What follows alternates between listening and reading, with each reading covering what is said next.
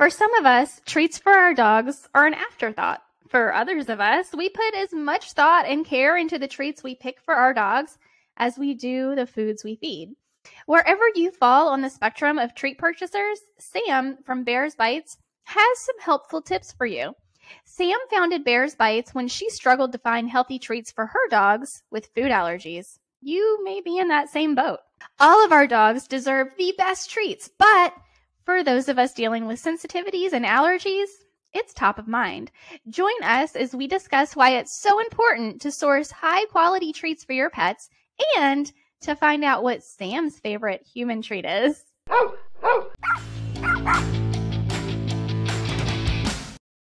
Have you tried training methods that just didn't work? Do you feel that your pet is not getting his or her nutritional needs met? Are illnesses and bad behavior your daily norm?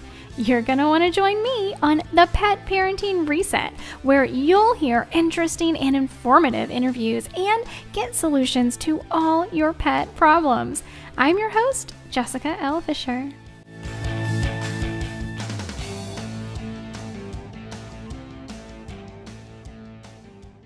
Sam, I'm so glad you're here. Thank you so much. Thanks for having me. I, I I so appreciate you and um, for being you, of course, but you know, it's so important for us, not just as small business owners, but as women small business owners, that we really, you know, have each other's backs and like promote the crap out of each other. because we, I mean, who else is going to do it, right? If we don't. So, um, it's, it's an important thing to me. And I'm finding, I, I'm, I by no means have you know, a huge voice, but the bigger my voice does get, this is something that I want to do more and more of because um, it's just really like a, a passion for me to be able to introduce people like you to to the world to you know to more and more people. Um because it is you know when when you have a passion project which i know you're getting ready to tell me about it's it's about the love that goes into the product that you are not going to find when you just buy whatever at a big box store, you know? And it makes such a big difference whether you believe in woo woo or you don't believe in woo woo. The energy that goes into making something can have a huge impact on us and our animals. And um, so, tell me a little bit about Bear's Bites, what it is you do, and how you got started. So, uh, I'll give you a little bit of a backstory. So, the reason I started making dog treats was my boys about 15 years ago had food allergies. So, we had Sarge, and Sarge started itching and digging and ear infections. And I took him to the vet, and it wasn't real known back then with the food allergies like it is now.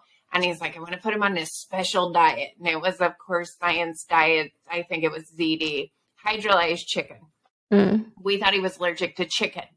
And I'm like, Are you sure? Oh, it's made different.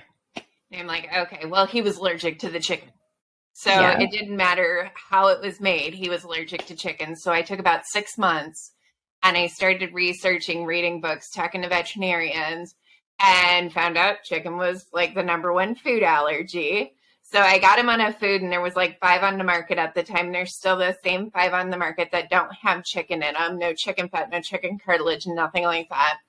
And then we adopted Tank, and Tank had these same food allergies, but his his were worse. Like his hair would fall out. He had sores on him, instant ear. He had horrible ear infections. So we got him on, and we had both of them tested for allergies.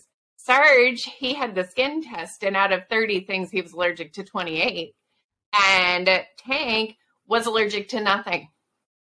So we did, we, yeah, we found out it was chicken by doing the elimination diet. Mm-hmm. And um, got him on the food. They were doing great. And I went to find treats, and all the treats had chicken and things that I can't pronounce. So I was like, mm, that's a hard no. So I had one of those cute little white dehydrators and I was like, all right, I'll do organic banana and sweet potato. And the boys loved it. So uh, when we adopted Bear, I was so excited because I'm like, oh, he's a rescue dog. He's going to love these treats, would not even eat them. would not put sweet potato or banana in his mouth. So I found a farm locally that did hormone free, steroid free, organic meats, and we started making beef liver. And I told my husband it was so we adopted Bear in March of 2017. So November 2000, see, 2017, I told my husband that I was going to start a dog treat company. And he looked at me like I was crazy, and I get that look often. and uh, he said, "What do you know anything about starting a business?" And I'm like, "No." And I'd actually gone to school for business management and still knew nothing about starting a business, by the way. And um, so I, he's like, "When are you going to do this?" I said, "We're going to launch January 1st." And I got the oh Jesus look, like the, and uh, we launched February 8th of 2018. And by June of 2018, it was supporting itself. So mm-hmm. that is, I knew if I was having the problem finding good treats, so was everybody else. Mm-hmm. So it was, it was time to launch, and we have just grown, grown tremendously. Yeah, it is uh, difficult. Um, it's getting less and less difficult I mean, as you know, because you're in the space, so you're seeing the growth in in the treat space. But to me, I always recommend single ingredient treats. Like that is just my go to. I don't. I I just don't want to buy anything else, and I don't want my clients to buy anything else. But one thing that I am realizing is that we have been, I, I feel like we have been so conditioned to not ask about where things come from that I am having to constantly remind myself when I see something new and shiny and I'm like, oh yay, look, it's a single ingredient treat. Mm-hmm. I'm I have to remind myself to take a step back and say, Jessica, check the sourcing. Mm-hmm. And that is so important. And I know this has been part of your journey too. Can you tell me a little bit about why this is so important? It, that way you know. Cause, okay, so I actually, the farmer I started with, I did not go visit his farm at first. And he lied horribly. He didn't even grow half the meat. Oh my when goodness. I started, I'm like, hey, I need to come visit the farm. He kept, no, no, no. Because I visit the farms that I work with because of the situation because you you can't just leave people anymore and it's really sad but mm-hmm. He never would let me visit the farm. And then i found out he didn't grow any of his pork. He buy his beef at market like there was he did nothing. So when you have somebody that's saying this is how it actually is grown and then they don't grow any of it that's that's a serious problem for me. So now i visit all the mar- our all of my farms that we work with. That way we know because if they're lying to you, you don't know what it is. You don't know what they fed it, how it's raised, if it's raised humanely, nothing. So that to me is very important because I want to know what I'm putting in my body. I sure want to know what goes in bears. I think bear eats better than we do. So because I'm more strict about what goes in bear's body. Mm-hmm. So it's it's so serious to me because so many chemicals, like cancer is huge in pets because of all the crap that's put into foods and everything and they are horrible at sourcing anything. I i have asked big companies where do, where do you get your meat? And they refuse to tell me. Yeah that's a big red flag.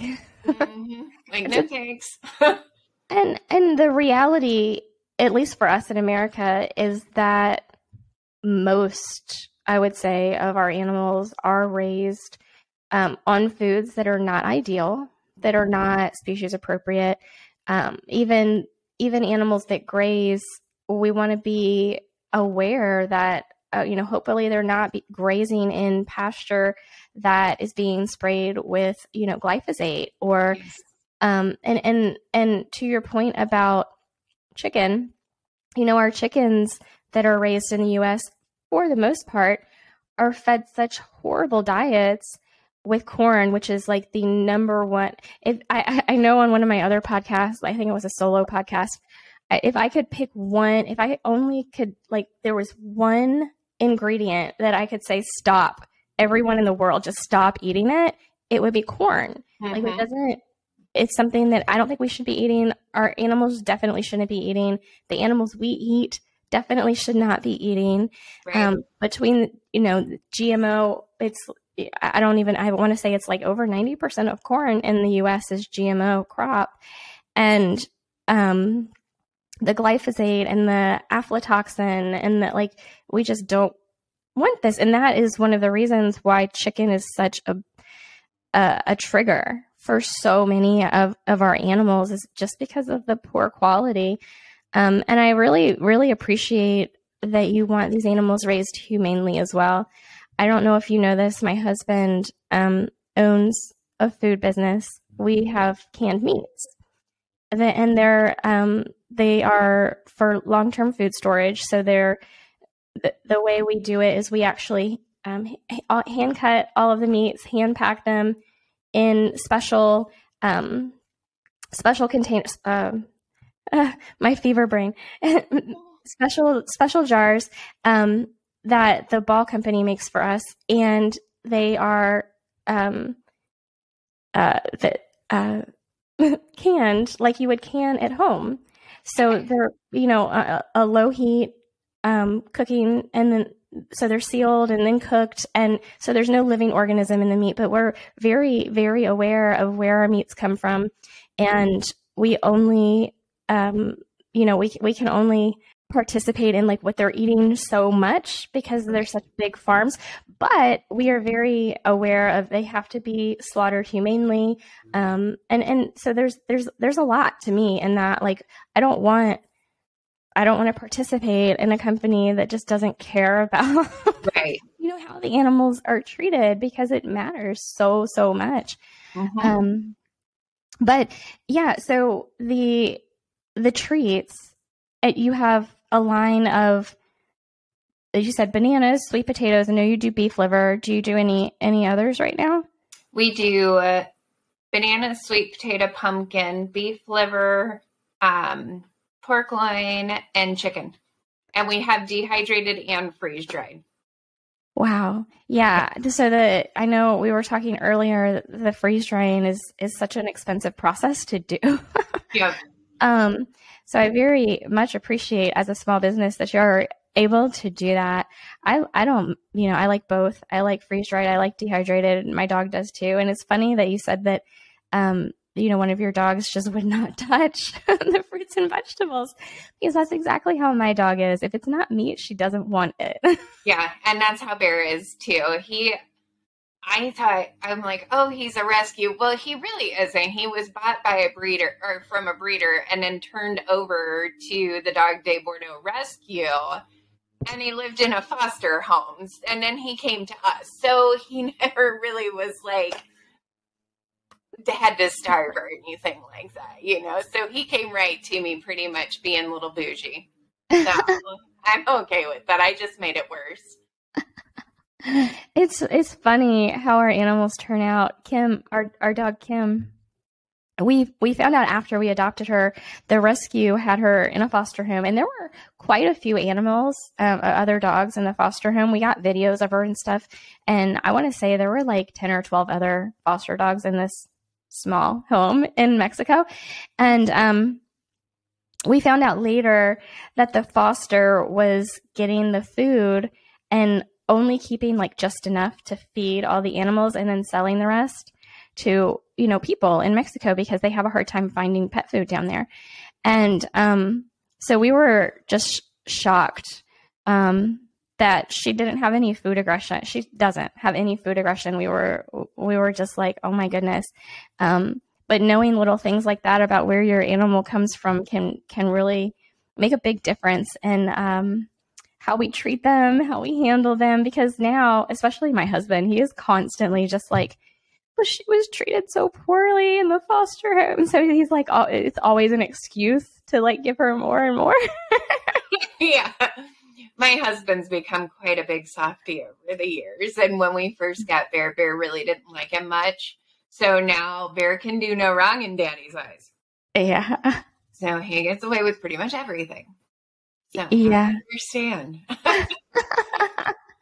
I love that though because um you know, I my husband was similar when I met him. He was like, I mean, they're just like he liked dogs and he Mhm. had a dog, but it was like, you know, they have their space, I have my space. Like he didn't want the dog in the bed or you know anything. And I'm today, it's like Kim is in our bed all the time, and like we put in a pool for Bear, a 15 by 30 above ground pool for Bear.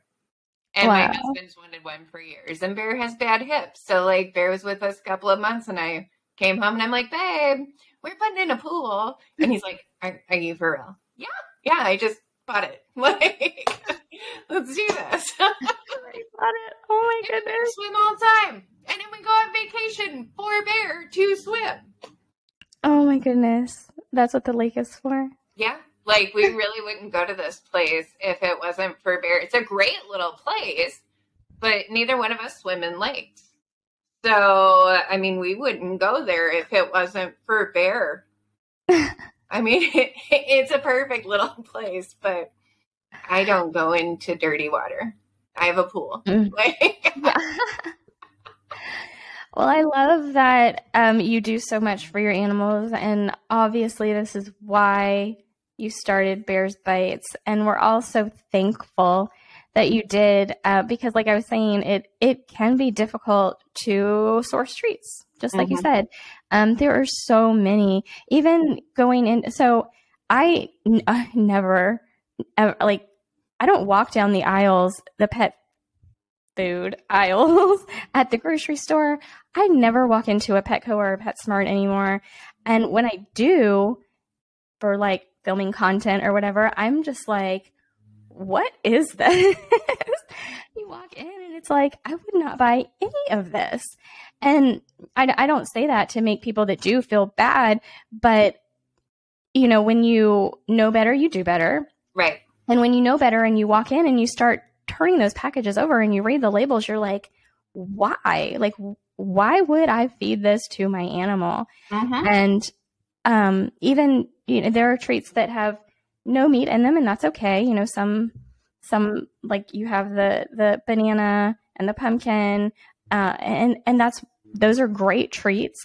Um, fruits and vegetables can be really wonderful for for our dogs. I think it's concerning that they're really starting to push um, plant based foods and treats. Yeah. Um, That's you know we have I have the the pumpkin and the sweet potato and the banana for people who need like a lower carb or you know something like that and pumpkin's great for the dogs anyway so it but it's that those are not my main source of treats and I would never Mhm. tell somebody this you know don't give them meat like meat you Right. need so much from the meats you know I've uh, yeah, I'm pretty shocked at the the vegan diets for the dogs.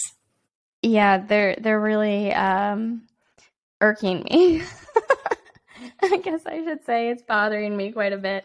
Um because I I just our our dogs are carnivores, right? And and fruits and vegetables are such a small part and and and they can be very beneficial, of course. Um when we're when we're talking about um plants as medicine especially Right. but um i just really I, I love i love what you're doing. Where can people find bears bites? How can we um or, or even before you tell me where people can find them because i know everybody wants to know by now. When somebody is looking at a package of of treats can you kind of give me like a rundown of what it is you look for when you're looking at treats? When I'm looking at treats, first thing I go to is the ingredients.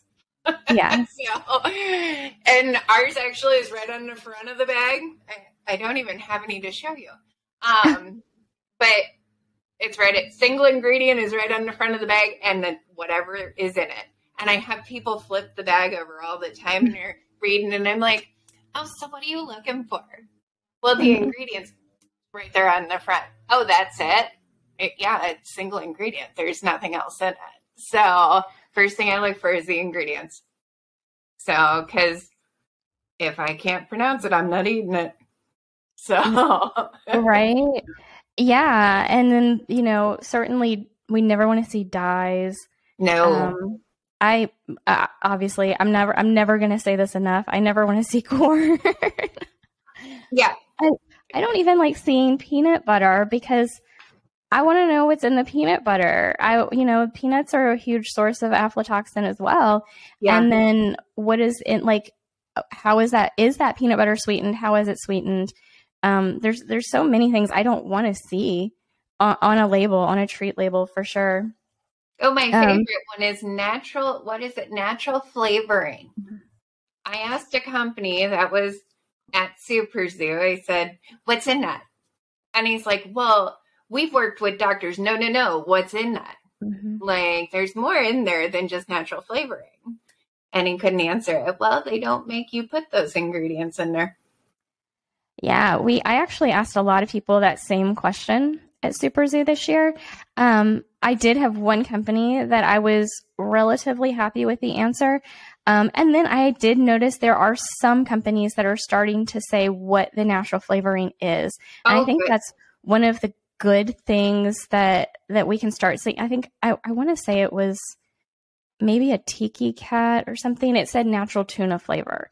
So um, kind of going back to your point about sensitivities and allergies, if we don't know what that natural flavoring is, that could be a contributing factor because mm-hmm. we don't know what it's the na- a natural flavoring of. Right. So if it is a natural flavoring of any sort of poultry and your animal has a an allergy or a sensitivity to chicken, which is the most common, then that can be causing a huge problem in our animals. So definitely looking out for natural flavoring. I'm glad you brought that up. yeah. And that's so I have a lot of customers that ask me about allergies since that's mainly why we started our business was because my boys had allergies. And I always tell them if it says cartilage, if it says, you know, what is the other one that they stick in their um, fat, animal fat there's a good chance that's chicken. And, uh, you know, everybody said, well, it doesn't say that. I'm like, yeah, doesn't have to. like, mm-hmm. call the mm-hmm. company and ask them. Yeah. Yeah, because it is such a big deal for our, our dogs that, you know, if chicken is an allergy or a sensitivity for them, we really need to avoid it across the board. Mm-hmm. Um, so even if it is in, like you were saying, the animal fat or, um, which is in almost every bag of kibble, uh, because they're trying to entice your pet to eat something that's biologically inappropriate for them to mm-hmm. eat. Um, yeah, I mean, you definitely don't want, and of course, it could be restaurant grease too, which really who yeah. knows what that is. But um, yeah, There's many gross things that go into. I know, right? Um, but that's again why I appreciate single ingredient treats so much. It's pretty much the only thing I ever buy. Um, the, if if I buy a treat that has more than one ingredient, it's because it's like a like a you know green lip mussel and green tripe or something like that. But right. I'm not I'm not buying like the majority of treats on the on the market. I thought it was really interesting. I did a, a um a TikTok a couple of months ago, and I went through Target, and I was just like, nope, nope, nope, nope, nope, nope, nope. Like, why I'm not eating? No, I'm not buying any of this. Mm-hmm. I was mm-hmm. actually shocked. I hadn't been down the pet aisles in Target in years, and I just I felt this. I felt so gross um, being in those aisles. But somebody actually commented and was like, you literally just said not to buy everything that's available to us. And I'm like, um, I am so sorry that you feel that way. This is absolutely not everything that is available to you. Like we need to like expand what we know about pet food and pet supplies and it just made me so sad. Mm-hmm. I was like it kind of brought me back down to like people don't know. No. You know what I mean? Like people just no. don't know that they they literally buy a hundred percent of their their food, their pets' food, their household items from a big box store like a Walmart or a Target, and they don't know that things exist outside of it. And um, so when there are products like yours out there, it's like, please, let's get this in front of people because if we can, whether somebody is starting with treats or they start with food and then find better treats, whichever way it is, like, let's get it in front of people. yeah. And I find, so I do find here locally um, that we start with the treats and then the pet parents get to know me and they have questions or somebody told them to come ask me and i'm getting a lot of people not switching to raw, but putting more whole foods into their dog food. I'm like, look, you know, just throw throw some stuff in there. Like you don't eat processed food all the time. Your dog shouldn't either. And I'm really getting locally here. I'm really getting people to start at least adding to it. So that's awesome. Makes me feel better.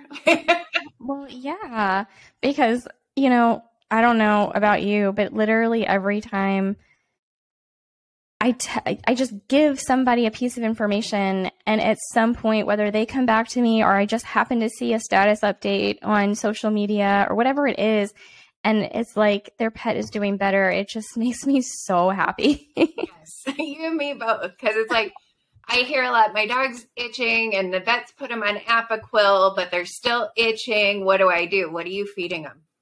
That's mm-hmm. always my first question. What are you feeding them? Mm-hmm. They said it's seasonal allergies. What are you feeding them? Mm-hmm. Because I can tell you here now with Sarge, he had seasonal allergies too until we got the food under control. Then he no longer had seasonal allergies. And I am also a prime example of that because two years ago I found out I was a little, I have a food sensitivity to dairy and gluten. And when I eat either one of those things, my allergies just flare up something horrible. When I don't, I have no seasonal allergies. It is pretty crazy. And I um I have issues with dairy too. I'm actually looking at if I if I do dairy, it has to be raw dairy. And that makes such a big difference. It's not easy to come by though. right. I've never tried that. I just cut it out. Yeah, because it's they take out all the good stuff when they pasteurize it. Yeah. Just like with everything, you know, they they want to keep us sick. I so agree they, with that statement. Yeah.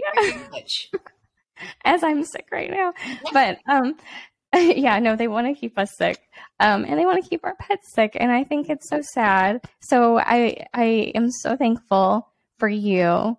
Um for just taking a stand and saying no and putting a good product on the market. So now that I've said that, where can people find Bear's Bites? so you can buy them directly from us at bearsbites.net. We also, I am updating the list right now, so it's not on our website, but I'm updating the list of where you can find us in stores. Um, we are on places like Walmart.com, which we do actually sell a lot on Walmart.com. And so that's a good thing. It is I'm out there a little bit. Yeah. And then we're we're working with another big company to put them online. I can't say that company yet, but I did meet him at Super Zoo. Um, but it starts with a C. Um, but it'll be on there. So I'm I'm getting out there. We're in about over 150 stores nationwide. A lot of smaller boutiques, grooming. Um, we really haven't looked at doing big chain stores because I find in the smaller boutiques and the grooming places that the owners care mm-hmm. and they want to direct them more towards good things that they mm-hmm. carry. So I like dealing with small businesses too. So, yeah. Well, I mean, when a big business, a big box store carries a product, they usually just throw it on the shelf. You know what I mean? And um, we're in a season, I think, where uh, re-education is very important. Yes. So I, I also think that's why you know the smaller boutiques stores are um, a great a great place for products like yours because um, people people just need the education right now. Yeah, it's unavoidable. I think. yeah. No, I I love that people are learning more. Yeah. So I'm thrilled that that you decided to join me today. Well, and the wonderful products that you are putting out. Um, I will absolutely be recommending your products to everyone I can.